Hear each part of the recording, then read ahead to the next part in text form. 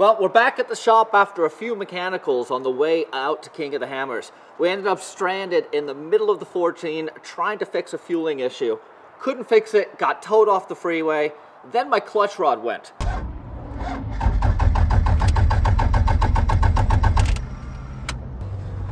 It's the reason I got five gallons of gas in the back.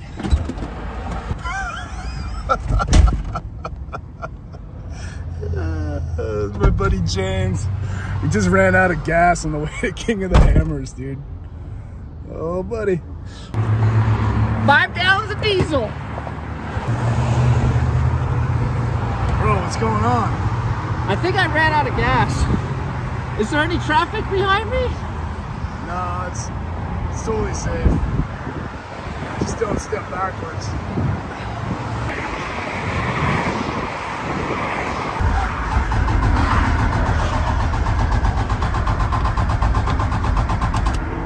So, when diesels suck in air, the only way to really fix it is to purge the air. Which means you crack open one of the lines and you crank the engine over till fuel starts spraying out through one of the supply lines. I'm gonna open the fuel line. When I got the fuel line open, I'm gonna give you a thumbs up. You're gonna crank the engine and and then I'll wave or something when it's time to stop.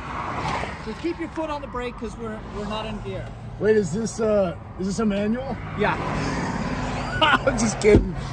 Oh wait. Hey, something just went through the floor. What? Something just went through the floor, the thing. The heck? Okay. Dude, we're getting all kinds of issues. Did you just break my clutch? I think I just broke the clutch. Okay.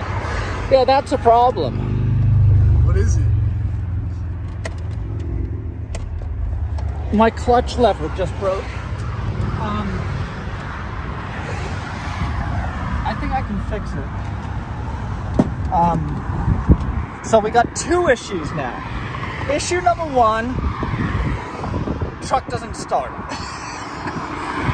Issue number two, the rod on my clutch that attaches attaches the pedal just broke. So I'm not gonna have a clutch um, until we get some JB Weld, and maybe that will fix it. But it's not a good start. watch, watch for fuel coming out of there.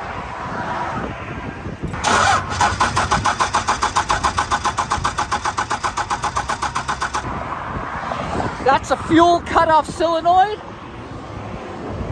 And I think it's not working.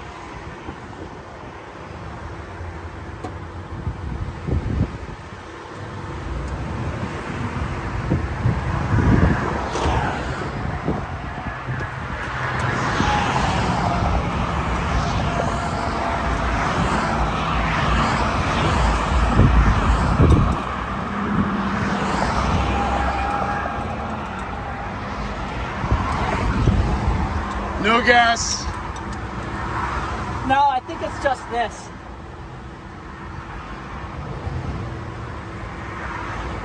Oh yeah, something's loose down there.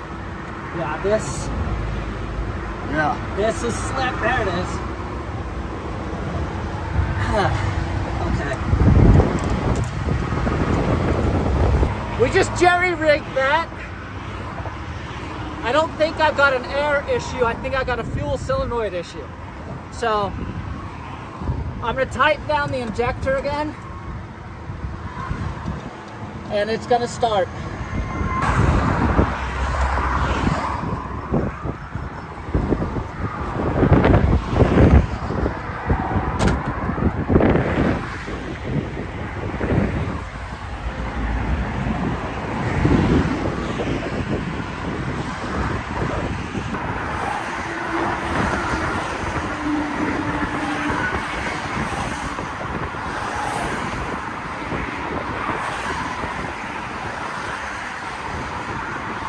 What do you got there?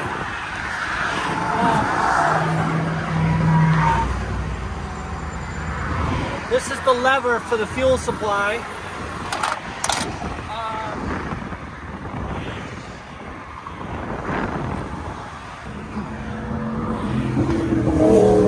this is the lever that connects to the fuel supply down there, or the fuel shut-off supply. I took it off because it seems like it's binding, I'm gonna see if I can manually just bypass.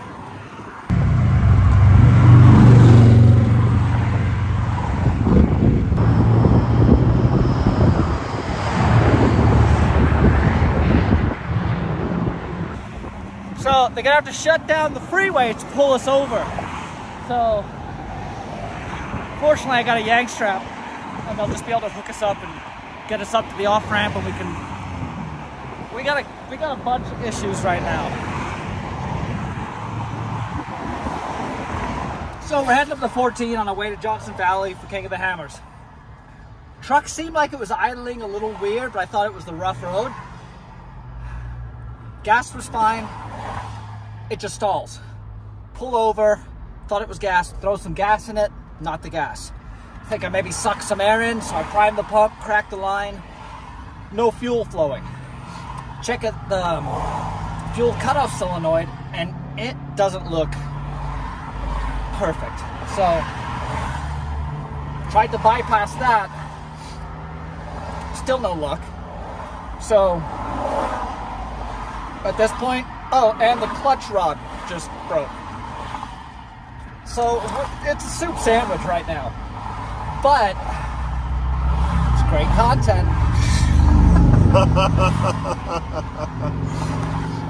Uh, We're gonna be that guy. tell me, tell me, cops are shutting down 14. You know, you know what I hate? I hate when you're sitting in traffic because some idiot ran out of gas or or needed to pull over and check his tires or his fuel cutoff solenoid broke and now because of that one dumbass the cops have to do a rolling traffic stop. I hate those guys. Losers. there was no way to get to the right. Say what? There was no way to get to the right side of the road. Oh, when it died? Yeah. No, I knew we had like 50 feet. What's going on? Uh, just going to King of the Hammers. Gonna go race some Ultra 4 trucks. Picking up speed. I'm doing about 30 now. We're gold. Just keep trucking. Just keep going. All the way. All the way. All the way. You're gonna need to take a left on Pearblossom. Left. I mean, a right. Sorry, a right on Pearblossom, and then like four hours. Just keep rolling. Tell me about the brakes and the strap. Oh, the brakes and the strap. Yeah, we've got this great situation where I'm riding the ass of a five-ton truck, and uh, I've got about, I've got no power brakes, but that's all right. That's all right. I mean, what's the worst that could happen?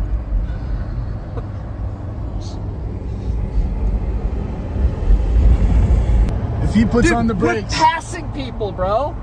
what? If he puts on the brakes and you're not paying attention, what happens? Uh, we hit him. No, no, tell me that. If we, if if he puts on I'm the brakes, trying to pay attention, dude. come on now. If he puts on the brakes, uh, and I'm not paying attention, and I can't get the brakes fast enough or hard enough because I don't have any brake assist or anything right now, I will hit him. Yeah, we're gonna be wearing a tow truck for a hood ornament. He's gonna wear us like a hat. Oh, there's a Vons right there. He's worried about the downhill. That's that's his. Okay, so I'm gonna start trail braking him. Dude, in and out.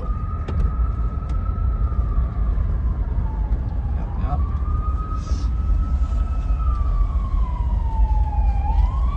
Five oh.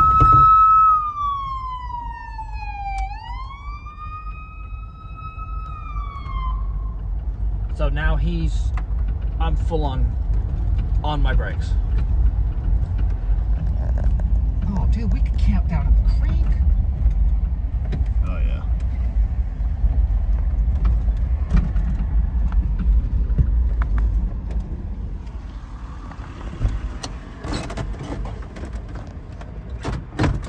Why does my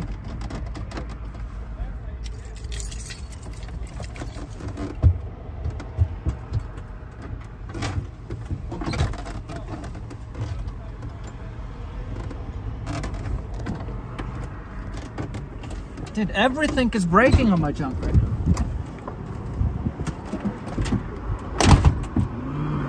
In and out burger.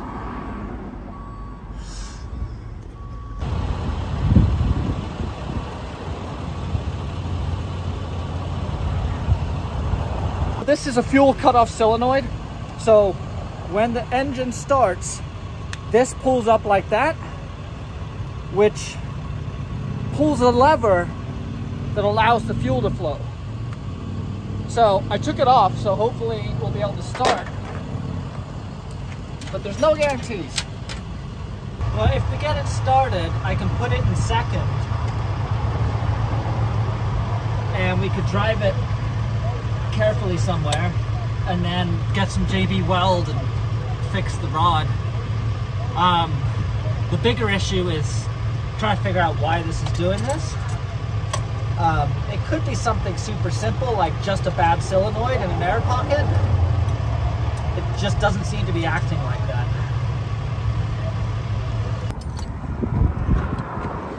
I have fuel pressure. Can you see you see that right there where I'm watch. You see that? Oh yeah. Okay, so I've got pressure to the bump. This is my return line right here. So these are all the fuel. So the fuel comes up out of here and goes to the cylinders, right? So this is my injection pump, or it's called a Bosch P pump. This is where the excess fuel returns to the tank. And I'm thinking I've got an air pocket in here. So I'm gonna crack this line, crank it over, see if we can get anything out.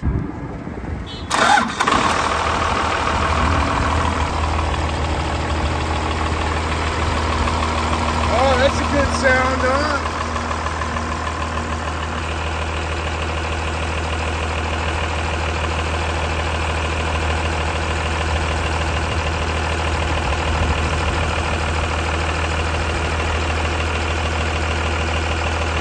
This is my clutch shift rod. So this goes from the back of the clutch pedal to the master cylinder and it snapped right where it necks down up here. So I don't have any JB Weld or anything, so I splinted it. I took an Allen key and basically just taped it like you would a broken arm. So it's it's pretty it's pretty solid. I mean it might work. If it doesn't, what happens? If it doesn't work, If it, if it doesn't work, we figure it out. I mean, something's something's gonna go right. The first clutch rod connector did not work. I'm a lot more confident that more electrical tape is the solution. This one's gonna do it. Uh, okay. Let's see.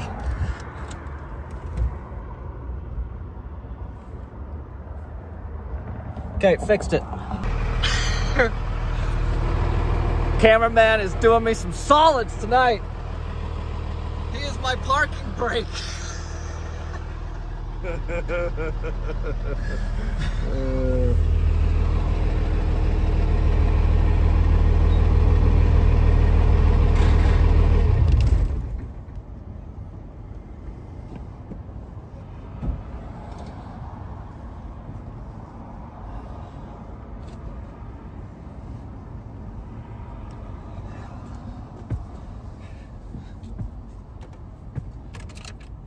Now what? Seems to be leaking some fuel. oh shoot.